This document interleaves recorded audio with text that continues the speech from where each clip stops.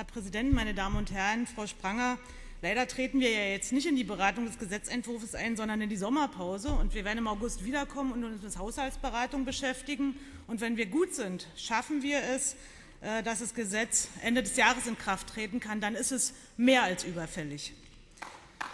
Gestern, gestern vor elf Jahren ist das Zweckentfremdungsverbot vom Oberverwaltungsgericht Berlin gekippt worden. Das Gericht sah seinerzeit keine Wohnungsknappheit. Das dürfte sich geändert haben und darüber dürfte auch kein Dissens bestehen. Der Schutz von Wohnraum gegen Umnutzung, Leerstand und Abriss ist längst überfällig.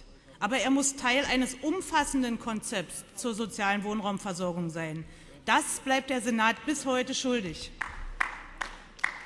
Verbot der Zweckentfremdung auf der einen Seite, Forcierung von Wohnungsneubau auf der anderen Seite, das reicht bei weitem nicht aus. Daran ändert auch das Bündnis mit den städtischen Gesellschaften nichts, das wir von Beginn an kritisch sehen, wie, wie Sie wissen. Der Senat hat viel Zeit verschenkt und er muss noch etliches nacharbeiten. Bereits im Frühjahr 2011 erging vom Abgeordnetenhaus, genauer von Rot-Rot und den Grünen, der, der Auftrag, das Zweckentfremdungsverbot in Berlin wieder einzuführen. Die Linke hat das am Anfang der neuen Legislatur erneut beantragt und die Koalition, daran möchte ich Sie erinnern, hat es abgelehnt. Es ist mehr als ärgerlich, dass mit dem Gesetzentwurf nicht zugleich die zugehörige Verordnung vorliegt. Wir brauchen, wir brauchen diese Verordnung so schnell wie möglich, weil das Gesetz allein noch keine einzige Zweckentfremdung beendet oder verhindert. Im Gegenteil, bis zum Erlass dieser Verordnung wirkt es als Einladung, noch schnell andere Tatsachen zu schaffen. Aus Sicht der Linksfraktion ist es außerdem absolut kontraproduktiv und schadet dem gemeinsam getragenen Anliegen, dass der Senat den Bezirken dafür kein zusätzliches Personal bereitstellen will. Eine rechtliche Vorgabe, die aus Kapazitätsgründen nicht umgesetzt werden kann, nützt niemandem. Das sieht der Rat der Bürgermeister offenbar genauso. Er hat in seiner Stellungnahme vom 23. Mai 2013 seine konditionierte Zustimmung drastisch formuliert. Er, Zitat, stimmt der Vorlage unter der Voraussetzung zu, dass die organisatorischen Voraussetzungen und personalwirtschaftlichen Auswirkungen geklärt werden. Die Vorstellung des Senats, dass eine solche Aufgabe ohne zusätzliches Personal erfüllbar ist, ist absurd. Zitat Ende.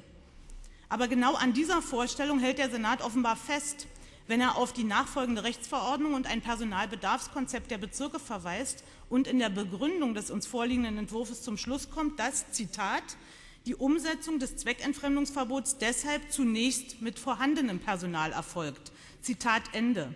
Dann können Sie es auch gleich sein lassen. Streuen Sie der Öffentlichkeit keinen weiteren Sand in die Augen. Ob und wann die zugehörige Verordnung vorliegt, ob und wann die Bezirke handlungsfähig sein werden, ist offen.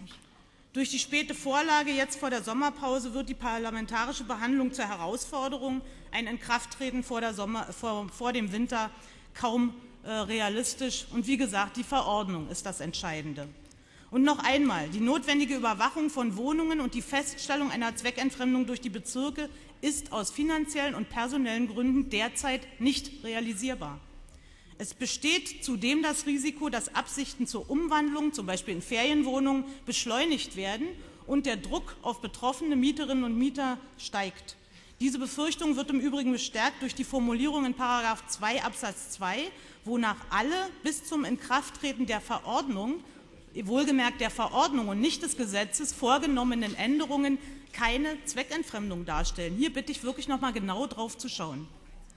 Das alles ist wirklich nicht erfreulich und dafür tragen Senat und Koalition die Verantwortung. Es ändert aber nichts daran, dass wir endlich das Gesetz und die Rechtsverordnung brauchen, und zwar für die ganze Stadt.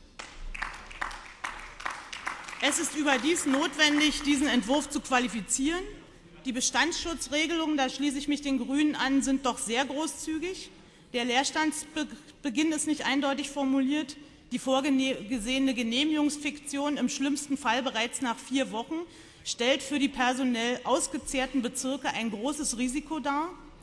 Gut, dass auf Initiative der Bezirke eine Kompensation durch die Schaffung von Ersatzwohnraum ausdrücklich nur im Ausnahmefall zulässig sein soll, aber auch hierfür müssen inhaltliche Vorgaben her. Im Übrigen empfehle ich auch hier einen Blick nach Hamburg, wo das verschärfte Ende Wohnraumschutzgesetz Ende bitte. Mai in Kraft getreten ist. Hier gibt es diverse gute Ideen, die wir in einer möglichst zügigen Gesetzesberatung aufgreifen sollten. Vielen Dank. Vielen Dank auch.